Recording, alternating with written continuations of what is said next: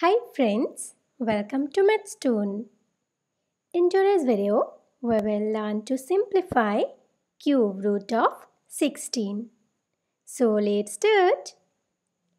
At first, we will factorize 16. Look that 16 is an even number, so it will be divisible by 2 and we have 16 equal to 2 times 8. We all know that 8 is equal to 2 times 4 and 4 is equal to 2 times 2. So finally we have 16 is equal to 2 times 2 times 2 times 2.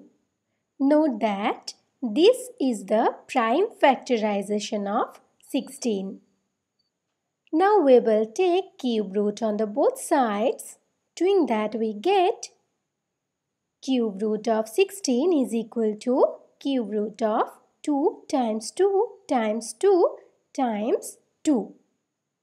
After grouping, we get cube root of 2 times 2 times 2 times cube root of 2. Here we have used the rule of cube root of x times y is equal to cube root of x times cube root of y.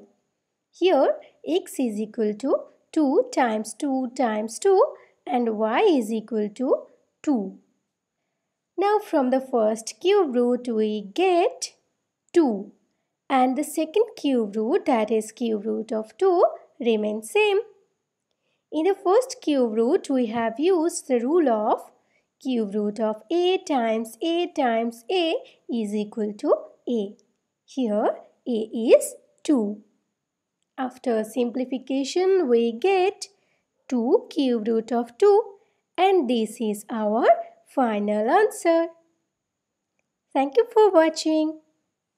Please like and share this video. If you find it useful, please leave your comment in the comment box.